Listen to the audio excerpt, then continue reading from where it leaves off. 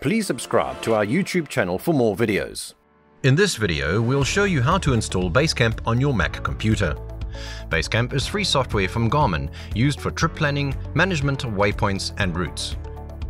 You can also use it to transfer data between your computer and your GPS device. It is available for both Windows and Mac computers. You'll find Basecamp installer by doing a quick Google search. Or you can simply follow the link in the video description below. Simply scroll down and click on the words Show More and you'll see the full video descriptions containing all the links you require.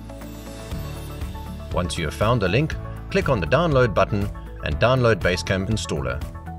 Once the download has completed, please click the file to extract the installation package. Now double-click on Install Basecamp. This will launch the installer, which will guide you through a step-by-step -step installation process. Once the installation has completed, you can close the installer. Basecamp is now installed on your Mac.